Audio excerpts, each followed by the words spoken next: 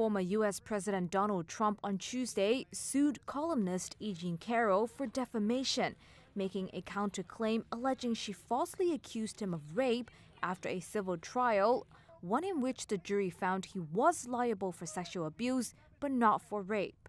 That verdict came in May. Carroll, a former Elle magazine writer, had testified that Trump raped her in a New York City department store in the mid 1990s and then ruined her reputation by calling her a liar when she went public in 2019. Trump was ordered to pay $5 million in damages, but he's appealing the verdict. It's the most ridiculous, disgusting story.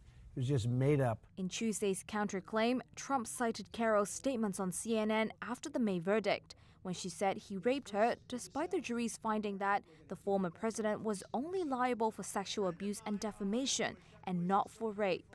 In the filing, Trump seeks a retraction as well as unspecified compensatory and punitive damages. Carroll's lawyer said in a statement that Trump's filing was, quote, nothing more than his latest effort to delay accountability. Trump's lawyer did not immediately respond to Reuters' requests for comment. We have to save our country. Trump is bidding to return to the White House in 2024 and has a comfortable lead over his Republican rivals.